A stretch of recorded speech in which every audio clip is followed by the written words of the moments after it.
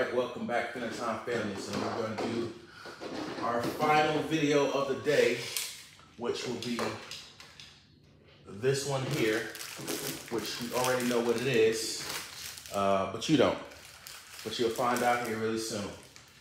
So let's get ready for some epic Beyblade video. So Let's go. All right, Cam, let's go ahead and get ready for this.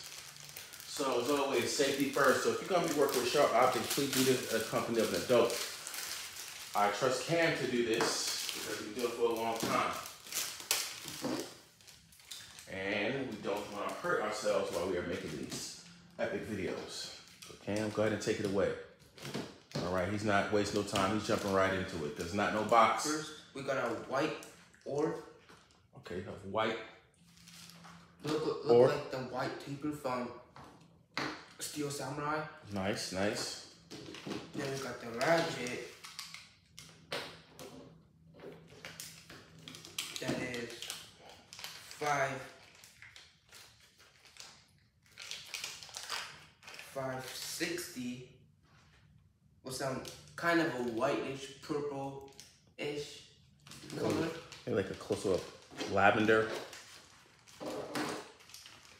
And last but not least, we got Shinobi Shadow. I mean, not Shinobi Shadow. Uh, Sphinx Cowl.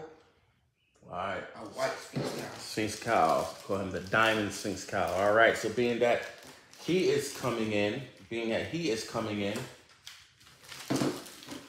he will have to go bye bye because he's the next one on the chop block to move into that next tier for our our championship. So Cam, if you would, please take him. He'll go over there. All right. And we will be Right. back.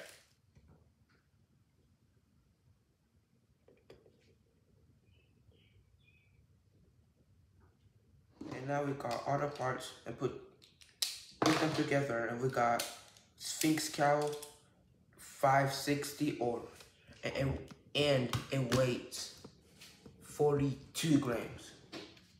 All right, so let's see what it does. Move into Sphinx Cowl trial. Starting out, we will start off with Steel Samurai. We are not in a Takara Tomy Stadium.